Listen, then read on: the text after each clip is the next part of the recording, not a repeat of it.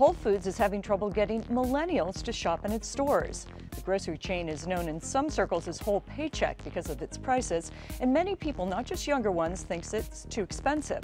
So to combat the problem, Whole Foods is planning a whole new lower price change with a different name and it hopes a different image. The company expects to open the first stores early next year. CEO John Mackey says he's not worried they'll take business away from Whole Foods. The bottom line, people won't go to Whole Foods, Whole Foods will go to the people. Hey YouTube fans, I'm Landon Dowdy from CNBC. Thanks so much for checking out our channel. Here you'll find videos packed with all the info that you need to be smarter about your finances. Be sure and subscribe by clicking right here and click on all the videos around me to see CNBC's original series Young Money, Tech Bet, Cramer's Mad Money, and all the latest from CNBC.